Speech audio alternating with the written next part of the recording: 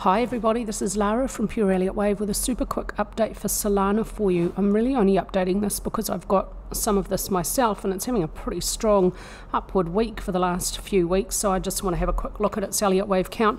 People keep asking me to give them extra free analysis of various markets. I'm not going to be able to do any of that over the next well, up until Christmas, I've got some other big projects that I'm working on that have really taken my attention and take a lot of time. So please don't ask, as refusal may offend. I will have another vote when I have some time to do extra stuff for you. But anyway, here's Solana. Moving up pretty highly, I'm moving my invalidation point up to the end of intermediate 2. My wave count for Solana sees a third wave at intermediate, primary and cycle degree.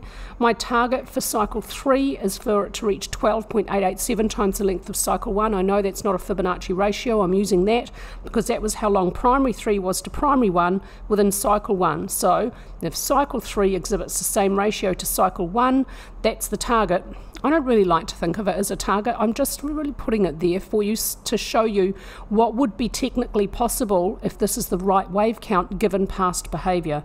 Let's have an update of what's happening in here. So I've just updated the data. I haven't updated my chart. Obviously I was expecting it to go up. It is. How high is this going to go? Why is this candlestick green? Oh, well, it's not finished. This is the 14th of November. I've just uploaded this data from Yahoo Finance. It's where I'm getting my Solana data from. I, I would want to label that over, actually. I don't know about this. No, that can't... No, this doesn't look right. No, let's look at this on the weekly chart. Mm, I mean, it could be minor 1 and 2. I would expect the middle of the third wave has not passed. I'd expect it to pass somewhere up here. I mean, this is possible. I don't know. I don't like this at all. I'm going to try and redo that. Uh, there's nothing deep enough here for minor 2 yet, though, and I don't want to put 1 up here. Could I put 1 there? Is that really... It's not really going to make much difference, is it? Actually, this might not be as quick as I thought. I really don't have a lot of time for this today, but I do want to update it. Let's get rid of this channel. It's confusing me. This whole thing is confusing me. Oh, no. I don't know if I want to label the third wave over. No. Go back to this. What do I have here? No, well, I labelled it over there. That was a bit premature, wasn't it? I don't think I want to label minor 1 and 2 over though. I don't know, I think. No, I'm gonna I'm gonna leave this here, but I could change that. So we could be still looking out for a minor degree second wave.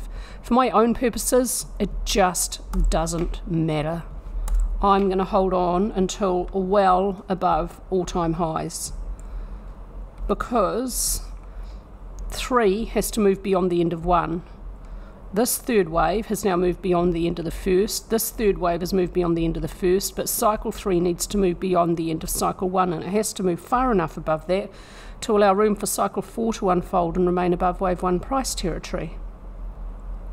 I think I'm going to put this here like this, and I think I'm going to do this. I don't know. I think it's a bit premature for the third wave to have passed its middle might need to move this all down one degree.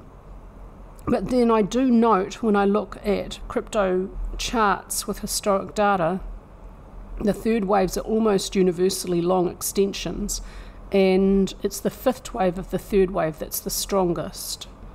And so the middle of the third wave can actually be passed relatively early. So this is possible.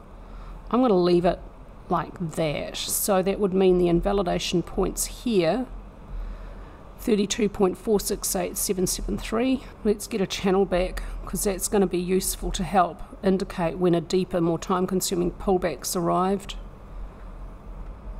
Yeah, I think I quite like that channel. When this lower edge is breached by a full daily candlestick, red candlestick below and not touching, then look out for a pullback. My last analysis, I had a target from a head and shoulders, 39674. That's been reached and passed, so let's just get rid of that. Support now about 50. Below that, support about 26 and a half. How strong is this support? About 50. Yeah, it's come from resistance here, a bit of support here, resistance here. Price is moving higher. It's obviously in an upward trend and it has pushed from volume. May have had a little mini blow off top here. There's not a bearish reversal pattern though. So far, this could be a small consolidation within an ongoing upward trend, but let's see how extreme this is. Very extreme. So it's in danger territory. RSI is very deeply overbought, but there's no bearish divergence. Money flow reached over overbought, there is bearish divergence with price on a closing basis between those peaks. Price is closed higher, money flow is lower. So, given these extreme conditions, I would be looking out for a pullback to come sooner rather than later for Solana, but I expect it'll be a pullback within an ongoing upward trend. That's it for me with your very, very quick Solana update. I will not be able to give you much extra free stuff. I'll just be doing my daily Bitcoin, Ethereum, XRP videos for a while um, probably until after Christmas. So thanks very much for your patience, guys.